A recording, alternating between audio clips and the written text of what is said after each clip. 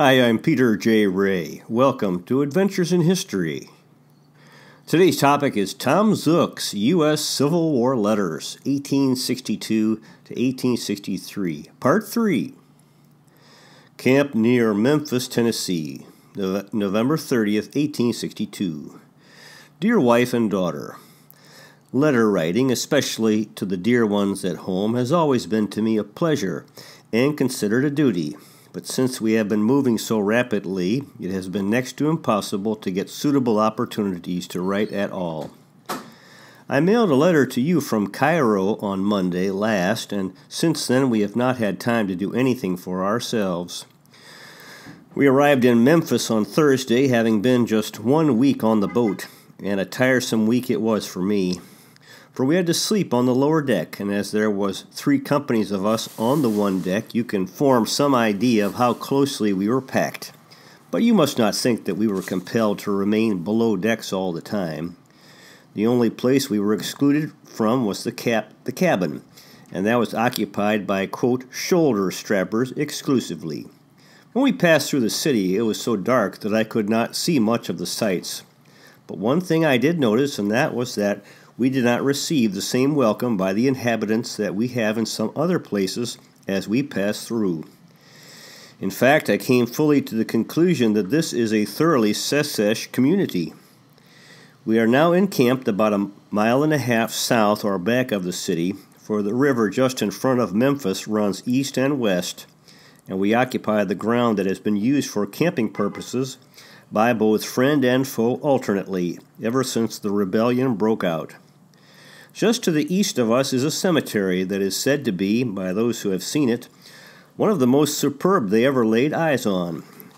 Some of the monuments must have cost thousands. The country round about Memphis is very thickly settled as far as we have had a chance to see it. The land on which we are encamped is all laid out in town lots. About every fifth or sixth one is occupied. It is an absolute shame the way property has been destroyed by the Union troops that have been encamped in this place. There is a house just east of this camp, about the size of Uncle Tom's, that was formerly occupied by a rebel who deserted it when the Union forces occupied this place. I had occasion to go into it the other day, and it almost made me ashamed of the Union army when I looked at the ruthless and wanton destruction of the inside work of the building. Doors were torn from the hinges and either burned or carried off. Mantelpieces ripped loose from the chimneys and gone entirely. Windows torn from the frames and real kicked up generally. For my part, if I was the owner of the property, I would almost as lieve they would have built fires in the center of every room in the house and gone off and left it to its fate. But such is war, and these are only a small part of the terrors and devastation that is going on wherever there is an army in camp. In the city of Memphis alone, the provost guard and rebel scalawags have burned many valuable business houses and dwellings. I noticed many fine looking structures, of which there was nothing but the bare walls remaining, and these may be seen in every square, and sometimes two or three in succession. It is useless to enumerate. The only way one can form a just conception of the horrors of war is to view it oneself. Since we have got into camp again, our company organizations are once more perfect. The old adjutant, adjutant has returned to his place, and John Williams has come back to the company now. Marsh Godman is once more orderly, and things move as they did at first. Well, Davis has got back to his company again and is no longer the colonel's clerk.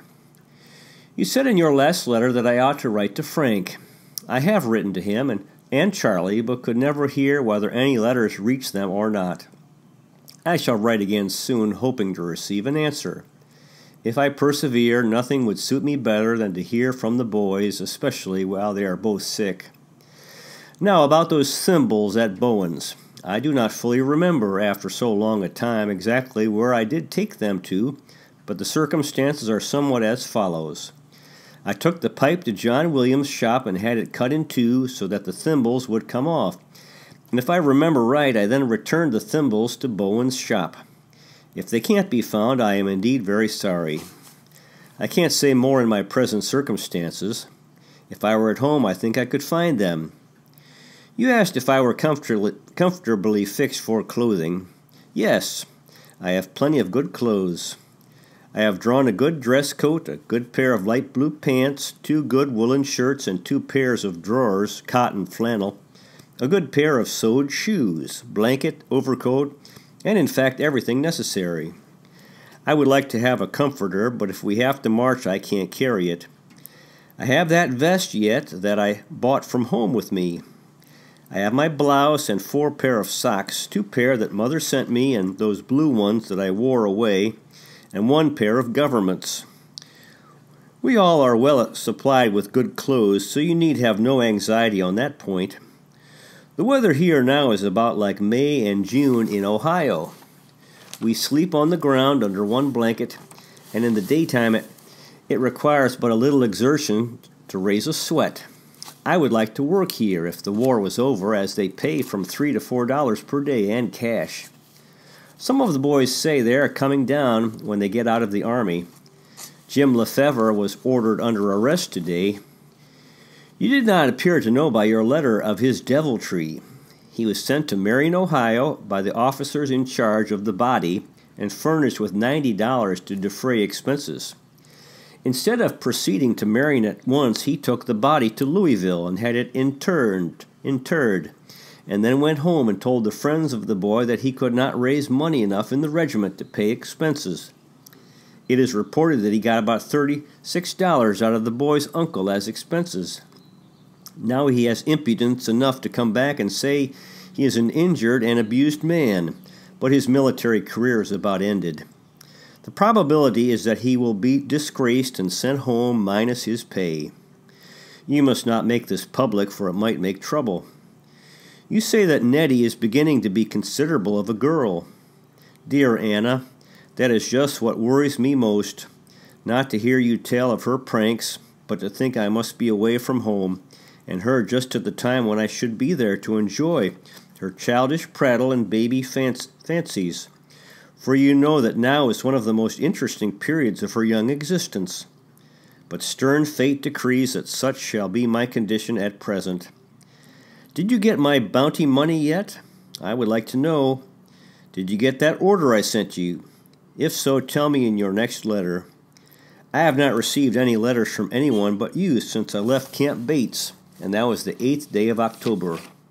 If they write, I never get them, I don't know now when we will get our pay from the government, but do not expect till the 25th of December, as that will be our next payday.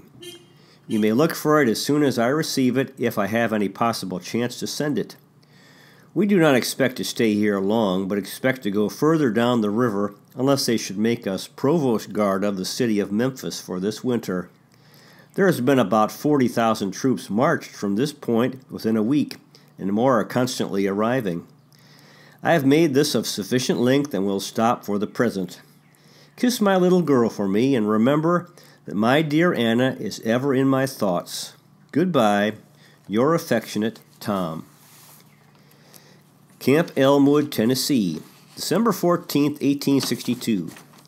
Dearest Anna and little daughter, Since last writing, our camp has been christened, as you will observe by the heading but the naming of the camp of the 96 is always the precursor of an order for a move, and therefore we come to the conclusion that there is a, a change just ahead of some kind or other. General Sherman's division arrived in Memphis from Holly Springs yesterday, and it is said that that they are to proceed immediately towards Vicksburg, Mississippi, or as soon as they can get transportation. And our brigade and another that is here with us is to accompany them.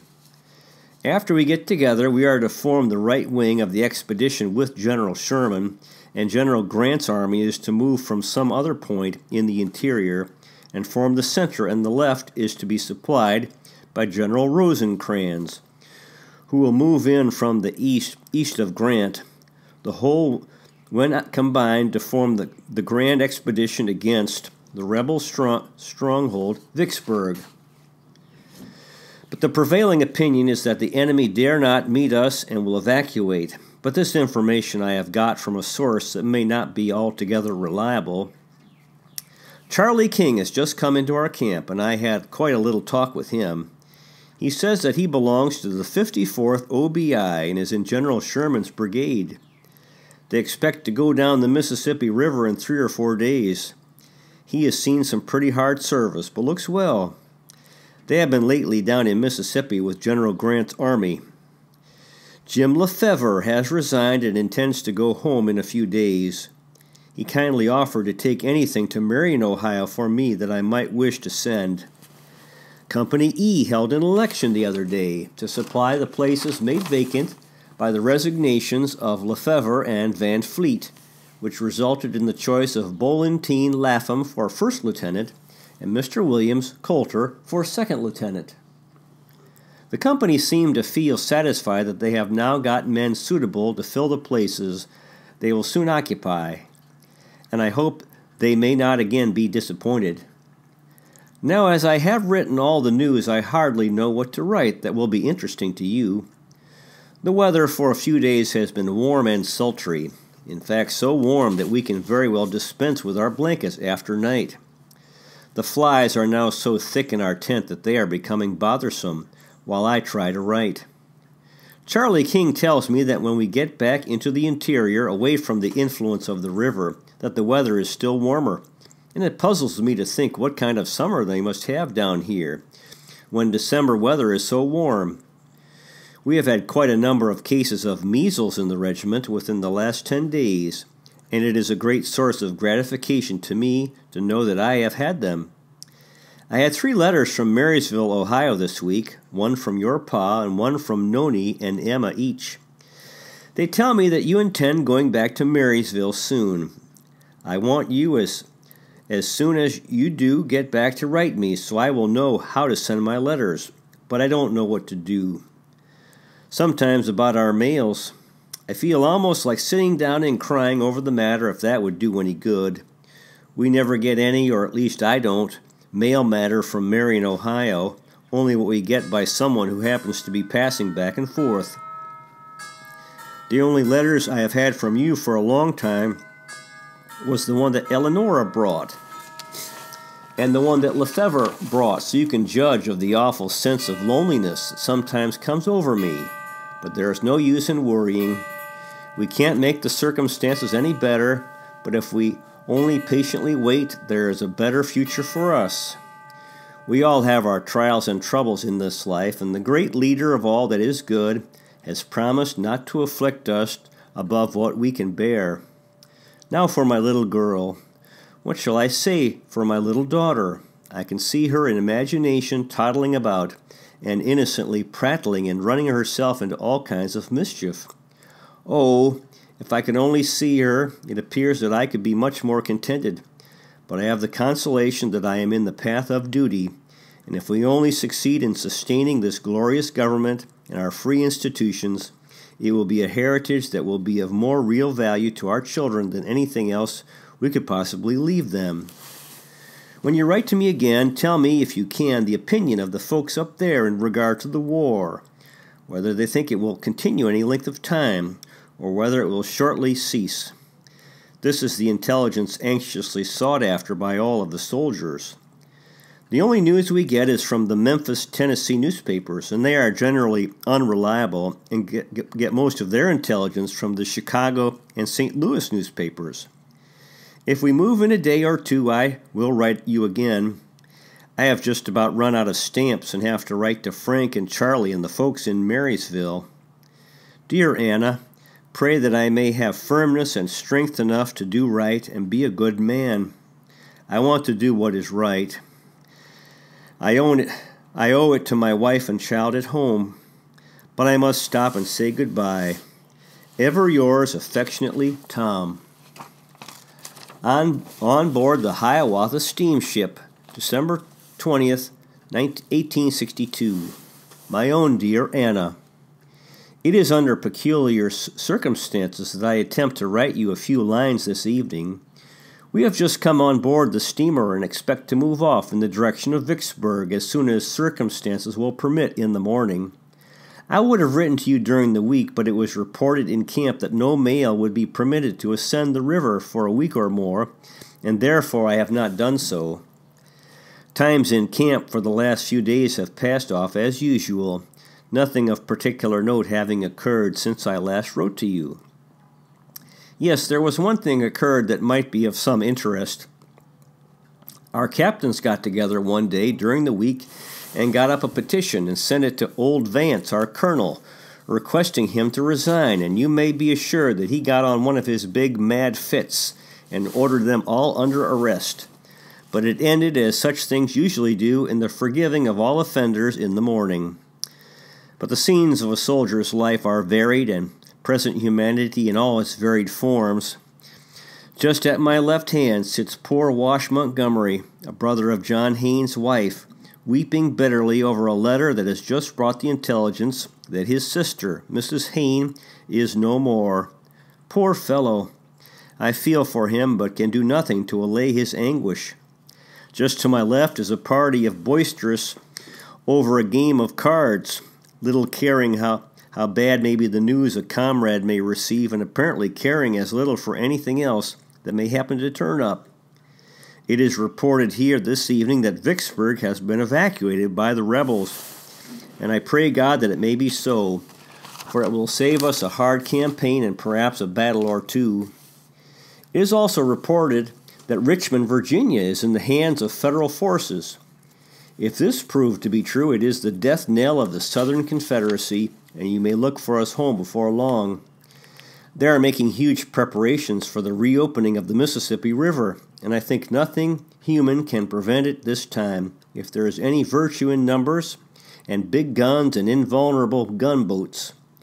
I can't tell how many men is going down the river with us, but judging from appearances, I should think that there is 75,000 or a 100,000 besides the force that will operate from below.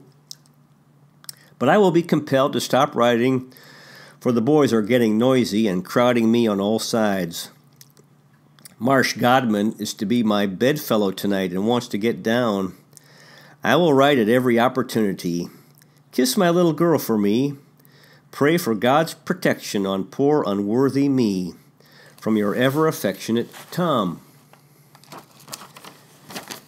This is a letter from uh, uh, from Tom's, uh, I believe his a letter from Tom to Tom Zuck from his sister Maria Zuck. Marion, Ohio, December 21st, 1862. Dear brother, we took a letter from the office yesterday from you to Anna, and as she had gone home, we thought we would open it and see what you had to say, for we were very anxious to hear from you and as you complained of not hearing from home, I thought I would write you again. I wrote you once before when you was in Kentucky, but suppose you never received it. And when Anna was here, we thought that she kept you posted on Marion matters. The folks at home are all well. Lena is teaching out at Carey's Station.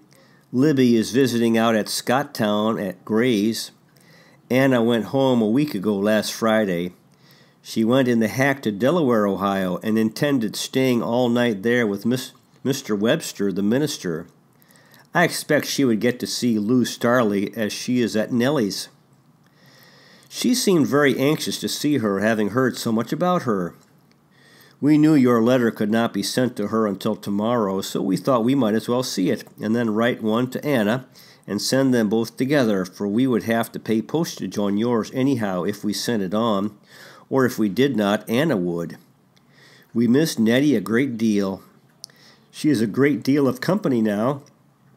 I expect Noni and Emma will have great times with her. Aunt Fanny, Travis, and Eleanor were here visiting a week or two ago. They say that John is lieutenant now and was at the time filling the captain's place. There has been a battle at Fredericksburg. Cal Godman came home from a visit to the to the 4th on the 12th. That is a week ago Friday, and they were fighting then. On Sunday evening following, he got word that his father was severely wounded, and he and his mother took took the hand car and what and, and went to Galion that night to take the first train and go after him. They are now in Washington with him and expect to bring him home as soon as he is able. Henry Clay had a dispatch yesterday afternoon that he was getting better. John Pritchard was slightly wounded. The rebels were making preparations to surround our men there, but on Monday they had a very favorable day, for it was very foggy, and they managed to cross the river, and I believe remove the bridges before they were aware anything was up, and so played sharp on the rebels. The, fo- the fourth and eighth were both engaged. I suppose there were very few Marion, Ohio boys in it, for there were only four or five in Company P and very few in Company H. I heard that Will Garrett had resigned is on, is on his way home, but do not know how true it is. Mrs. Cooper died about two weeks ago. The children took it very hard. I suppose Anna will still keep house for the boys. John Haynes' wife was buried last Friday. She died of typhoid fever. He had just got over it when she took it. He is going to take the babe to his sister and break break up. He is worse off than those that left their families to go into the army, for they have a hope of living together again. He has lost a prize, for I think there are few better than her. I heard a few weeks ago that J. Jacoby had been exchanged and had been put in as lieutenant, I believe. I had a letter from Mary Hardy about two weeks ago. They have sold their house and are living on Town Street in one of the eight buildings that are keeping boarders. Jane expects to go to Shelby in the spring with Mrs. Bright. She is going in a fancy store there. Uncle Joseph was here last night and today to quarterly meeting. He is very hearty and they are all well, but Melinda, who has been sick for some time. Grandfather Zuck has been quite sick, but is better again. Nelson's folks were, were all well the last we heard from him. He had been he had been sick but was about well again. Morty's leg is all healed over, and she, she would be well enough if it was only straight, but there is some hope she will outgrow that. Grandmother sends her love to you. Mother says she wants you to write as often as you can to us, if it is only to send a note when someone else writes. The rest of the folks send their love. Write to us soon. Your sister Maria. Now there's a letter from Tom Zuck's father, Marion, Ohio, December 22nd, 1862. Dear son, I thought I would write a few lines to you to let you know that I had not forgotten you. For I remember you often every day, and my prayers shall ever be for you, that you may give your heart to God with your affections, that he may protect and keep you from all harm, that you may return in peace and safety to friends and loved ones at home you wish to know what people think of the war or the end of the war. There is no light in that direction as yet. Saturday the 13th, General Burnside made an attack, but the rebel works were too strong for him. We must still wait and see. We have had plenty of work in our shop, for, for one and sometimes two hands, since you left. The prospect for the coming year is good. The cost, the cost of living is about 50% higher than it was last year. Pork is low, $3, $3.50. Flour, $6. Other things high. I wish you were at home and all the boys.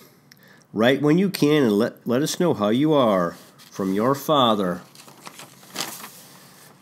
Fort Hindman, Arkansas, January 13th, 1863. My own dear Anna. It has been a long time since I have written to you, but it has not been because I have not had the will to do so, but because I could not have sent even the scratch of a pen if I had written a thousand letters. We have had but one mail go up the river from our expedition since we left Memphis, and then I made calculations of sending you a good long letter, but after sitting down and writing a hurried answer to Maria's last letter, Williams came to us and told us that we would have to mail what letters we had written, for the mail would leave immediately. So you can understand why I did not write that time. Well, after leaving Memphis, this fleet, consisting of 77 transport boats and five or six gunboats, together with some dispatch propellers, proceeded slowly down the river, occasionally stopping to destroy the buildings about the landings along the shore that had been used as rebel harbors. On Christmas, the 25th, we landed at a place known as Milliken's Bend, where our brigade landed and proceeded about 26 miles into Louisiana, and destroyed the railroad running from Vicksburg west. This march used up the men the worst way of any march we ever made yet. The whole thing was done inside of 36 hours. Well, on the 27th, we run down the river and up the bayou to within 12 miles of the rear of Vicksburg. The army immediately disembarked and moved through the swamps to the rebel works, which they found about seven miles from the landing. This was Saturday night, and therefore nothing was done until next morning, for you know our army always does the principal part of their fighting on Sunday. So, they did not make the attack until next morning when a brisk cannonade was commenced by both parties, but nothing of importance was accomplished this day the rebel works being too strong and so situated that it would be impossible to take them any other way than by storm. And then there was quite a stream to ford in doing so, and the rebel works were on the top of some high bluffs that it would be next to impossible to scale. And our forces were in a most detestable swamp. The next day, Monday, the fight was resumed with about the same success as the day before, with the exception that some regiments on the left tried to storm some of the Secesh works, but were repulsed with considerable loss. The third day, the same thing was repeated by the right wing with about the same success. And so the thing continued until New Year's night, when the whole army quietly retreated to the boats and re embarked, having lost, in lost, killed, and wounded about 500, and one regiment taken prisoners. Besides, about one third of the army was unfitted for duties by diarrhea and fevers that were contracted in that abominable swamp, and many of them died afterwards, one company of our regiment having lost as many as five men by fever. Our company lost one. His name was DeVolt, and he, he came from Mount Gilead, Ohio. After leaving, we moved up up to the mouth of the Yazoo River, where we lay around for a day or two waiting for something. Here it rained and stormed for a day or two, and as our company was on the hurricane deck of the boat, we had it pretty rough. On the 8th, we arrived at the mouth of White River, and on the 9th, proceeded up the same for some distance when we passed through a bayou into the Arkansas River and landed within about three miles of this place on the 10th. The next day we landed about 3 o'clock in the afternoon and proceeded up to the first line of rebel rifle pits, but they were already abandoned, the Rebs having been scared by the appearance of our gunboats, which could easily reach them from the river. We passed over these and marched through mud and dirt for about a mile further, where we lay down on the damp ground and tried to sleep till the next morning. We were up the next morning at daybreak. This was Sunday the 11th, and about at about 8 o'clock, moved around to our position on the left of the line and lay down on our faces, waiting for something to be done. It was not long until the 17th Ohio Battery, which was stationed right in front of our company, opened on them, and then it was that the canister and shell began to rattle thick all around us. And if ever I lay close to the ground, I done it then, for the boys were being struck all around me. Some badly wounded, some killed outright, and others slightly wounded. How many were hurt we, while we lay there, I cannot tell. About two o'clock, we were ordered up, the rebel batteries, been nearly silenced by the gunboats and the land batteries.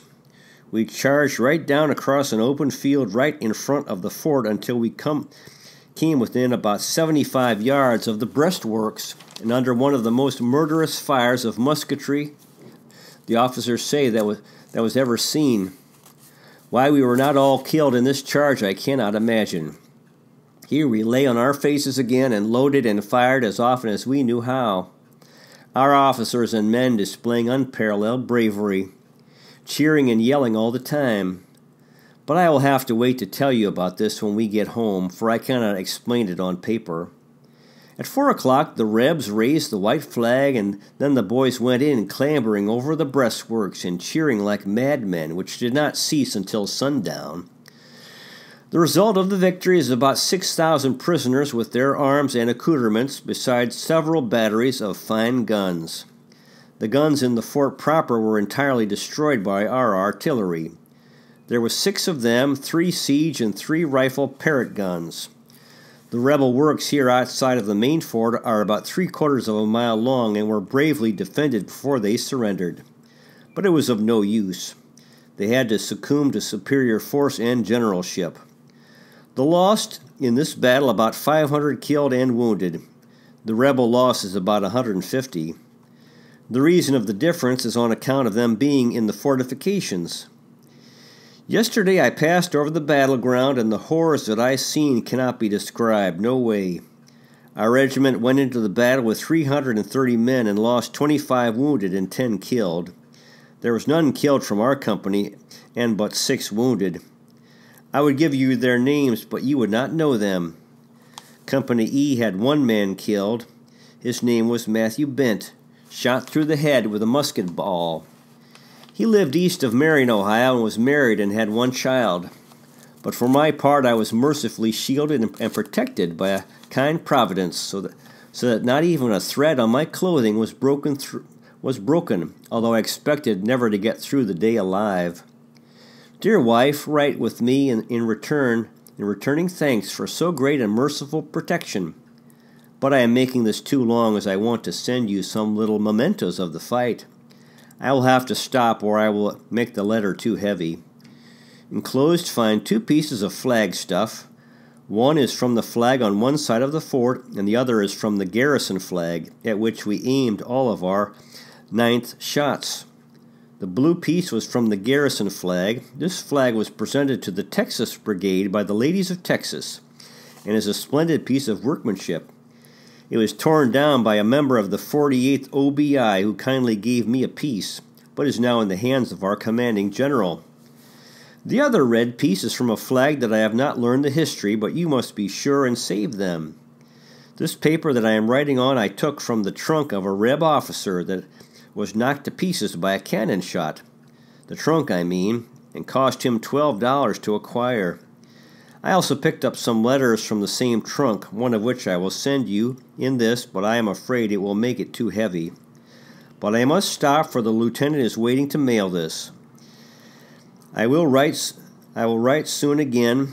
Write to me as often as possible. Perhaps some of your letters may reach me sometime.